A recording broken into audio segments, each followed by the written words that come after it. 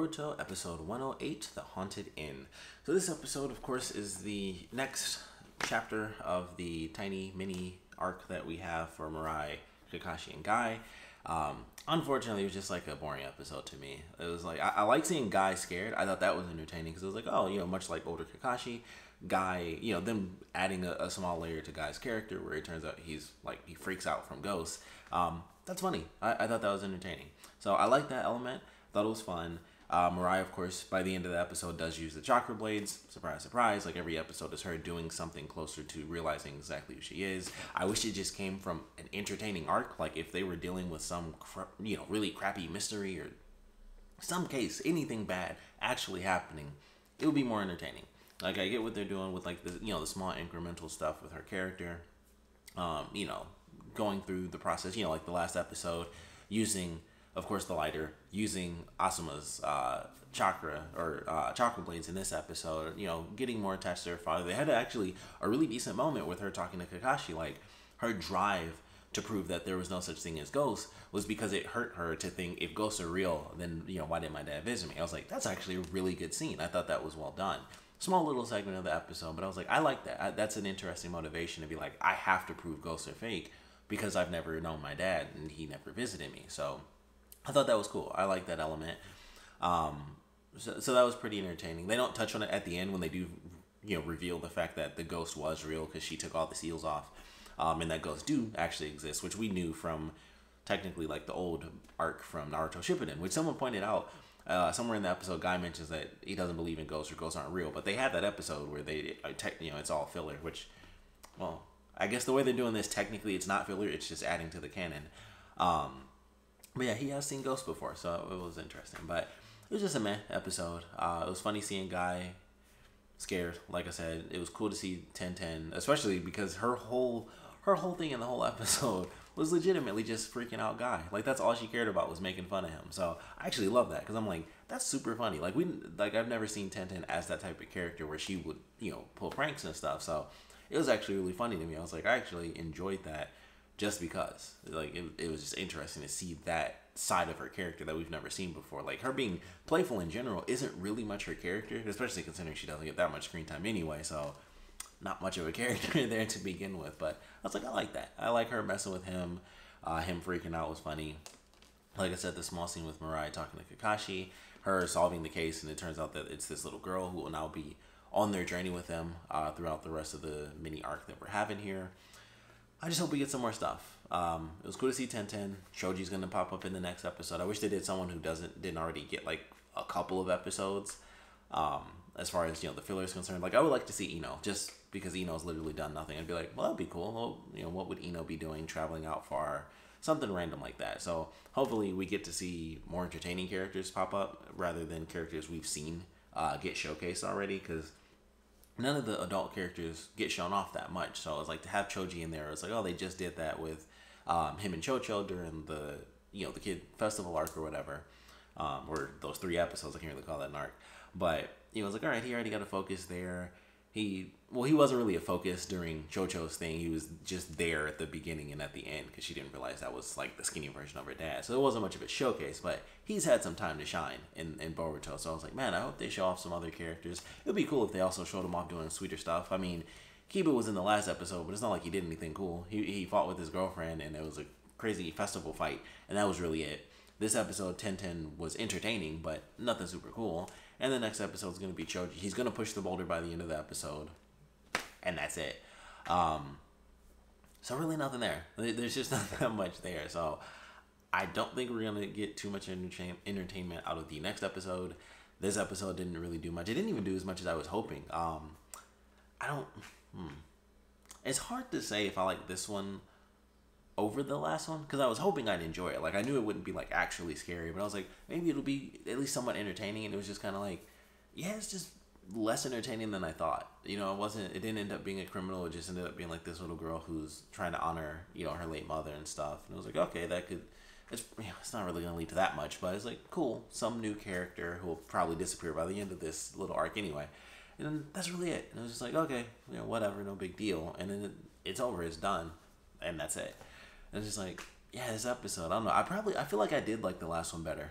just because it was like it felt like it at least had something to it. This one oddly felt slow paced, and I don't know if it's because I was so hungry while watching the episode, like I just felt bored. But I think it was just the episode, like you know, me being hungry wouldn't make me more bored. But I was like, man, it's not entertaining enough to like distract me from how hungry I am. I'm just like, I'm just hungry and watching this episode. Nothing's really happening. Guys freaking out, which is funny in, in some parts. It's not like it was funny the whole episode. I just like that element of it. Same with Tenten. It's not like she was really funny or entertaining that she was messing with guy. It was just a little bit of stuff. It was as a whole that was just entertaining because I'd never seen that before. Like the most entertaining thing I'd say she did was freak out at the end uh, when they found out ghosts are real, and the part where she freaks everybody out and she has like fake blood pouring from her face and stuff. And I was like, wow, she went really far for that. So like those two little moments, that's really it. She was just in it just to be there, and not much really happened. Um, so that was kind of like the whole episode. Like I said, there's like very small points. Mirai talking to Kakashi was a good scene. Her drive for wanting to prove ghosts were fake. They add this little girl, which I don't think at this point I can't say is good or bad. It's just neutral. It's just like, well, that's interesting at least. So I'm I am definitely curious to see how this character builds and how she shapes Mirai, you know, as they go along their little journey. But as of now, um, they haven't done anything cool with this. They've had cool moments. Like each episode has like at least a cool scene.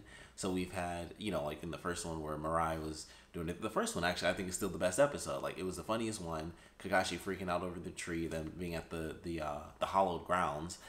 Um, Mirai doing the genjutsu, I just thought looked cool. The last episode had like the ending action piece. It was like, oh, she does the genjutsu again using the fire so that looked cool. And in this one, uh, it had the least cool action sequence, but she does use the blades, which I figured was going to happen. I was hoping that it was going to be a thief, and so we'd actually see her use the blades in an actual fight sequence. But instead, she just slices a statue, and they talk about like, oh, if you don't control that, that can be super dangerous. And she's like, yeah, I didn't think it would be that sharp.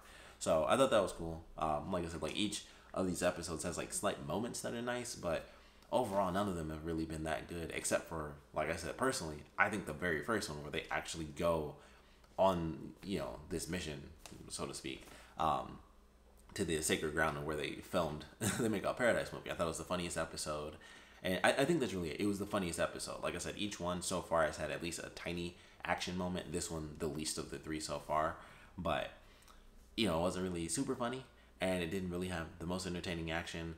And oddly, it felt I thought it was gonna be more entertaining. I think I mentioned in my last review. I thought it would be more entertaining because it was so tight knit I was like, man, this should be really entertaining because it's gonna be like four people, and that's pretty much what they have because it's Kakashi, Guy.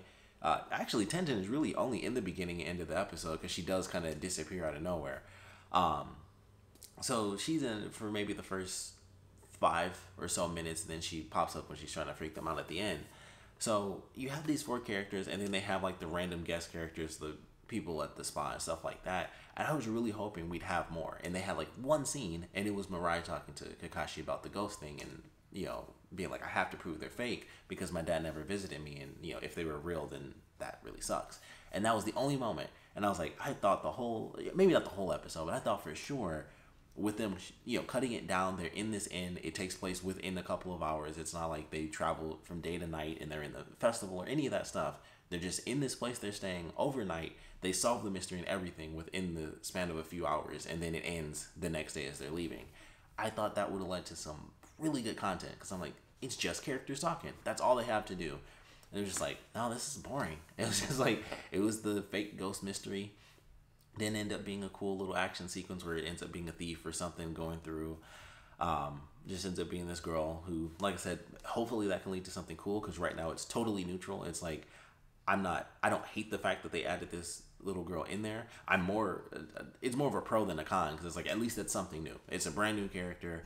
She won't add anything to the series as a whole, of course, unless I'm totally wrong. That would be a huge twist. But random character comes into play. It's like, all right, let's at least see what that does going forward. So it's you know, unless she becomes the most annoying thing in the universe, it's at least a minor con or a minor pro, which at this point is like slightly neutral because she just got introduced. But other than that, it wasn't much of an episode. I, I was unfortunately disappointed because I thought for sure I was like, okay, it's gonna be kind of spooky, which I like horror, so I was like, I know it's not gonna be scary, but like I like that element at least, like kind of teasing it a little bit. That's entertaining.